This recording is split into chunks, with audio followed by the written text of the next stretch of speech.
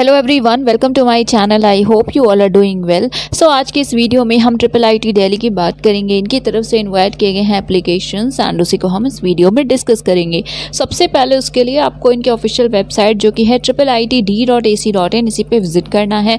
इसका लिंक आपको डिस्क्रिप्शन में मिल जाएगा ओके सो so, उसके बाद आप स्क्रॉल करेंगे तो यहाँ पर देखिए स्क्रॉल हो रही है न्यूज़ तो इसमें पी प्रोग्राम्स का ऑप्शन आपको दिख रहा होगा तो इसी पर क्लिक कर लीजिएगा।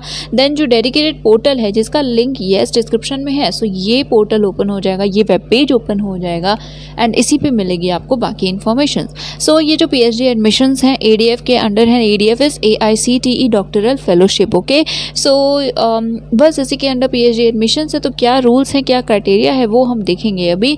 सो so, जिनके पास गेट या नेट है वही यहाँ पे एलिजिबल होंगे. एक्चुअली ये ए डी एफ़ का क्राइटेरिया है कि लास्ट फाइव ईयर्स में आपके पास नेट या गेट आपके रिस्पेक्टिव सब्जेक्ट में होना चाहिए. देन यहाँ सब्जेक्ट्स में देखिए सी एस सी अवेलेबल है ई सी ई है C S C computer science and engineering then communication engineering I mean electronics and communication engineering E C E and computational biology या कंप्यूटेशनल बायोलॉजी सी बी ठीक है? ये तीन आपके सब्जेक्ट्स हैं। ना यहाँ पे डिफरेंट डिफरेंट सेक्शंस है criteria guideline support and procedure then application procedure फिर इंपॉर्टेंट डेट्स एंड एरियाज़ सबसे पहले डेट्स की बात करेंगे एंड उसके बाद बाकी इन्फॉर्मेशन को देखेंगे। सो इंपॉर्टेंट डेट्स पर क्लिक करने के बाद यहाँ पे देख सकते हैं last date eighteen of September है। देन यहाँ पे शॉर्ट लिस्टेड कैंडिडेट्स की लिस्ट आएगी। उसके बाद इंटरव्यूज़ होंगे जो कि ऑफलाइन मोड से होंगे। कैंपस आपको जाना होगा ठीक है? सो so, ये थे इंपॉर्टेंट डेट्स अप्लाई करना हो तो यहाँ अप्लाई नाउ का ऑप्शन है आप उसके थ्रू कर सकते हैं ठीक है? सो so, अभी क्राइटेरिया की हम बात करते हैं एलिजिबिलिटी क्राइटेरिया सो आपके पास 70 परसेंट होने चाहिए marks and to be precise 69.5 percent या उससे ज़्यादा पीजी एंड यूजी दोनों लेवल्स पे ठीक है? S C S C P H candidates के लिए 65 परसेंट दैट इज़ 64.5 या उससे ज़्यादा परसेंटेज होना चाहिए। फाइन तो ये है criteria and U G P G दोनों में राइट क्योंकि ये ए डी एफ़ के अंडर है एंड उसके लिए यही ही रूल है कि इतने परसेंट मार्क्स ही होने चाहिए। फाइन आफ्टर दैट आपकी एज जो है वो टेन थर्टी ईयर से कम होनी चाहिए। हाफ़ और फाइव ईयर का रिलैक्सेशन है S C S T women and physically challenge category candidates के लिए। नेक्स्ट एडमिशन कैटेगरी सो ये रेगुलर पी एच डी है एंड उसी के लिए यहाँ पे सीट है। सो येस कैटेगरी यहाँ पे थी अभी क्राइटेरिया था उसके बाद गाइडलाइंस हैं तो आप पीडीएफ की गाइडलाइंस देख सकते हैं। यहाँ पे आपको पीडीएफ दिख रहा है तो इसको डाउनलोड करके पढ़ लीजिएगा। एक बार हम इसे आई I मीन mean, अभी डिस्कस नहीं करेंगे किसी सेपरेट वीडियो में हम इसे डिस्कस करेंगे okay now next is financial support so definitely यहाँ पे फेलोशिप अवेलेबल है एडीएफ में ही फेलोशिप है. So thirty one thousand per month है for the first two years then thirty five thousand per month है थर्ड ईयर में.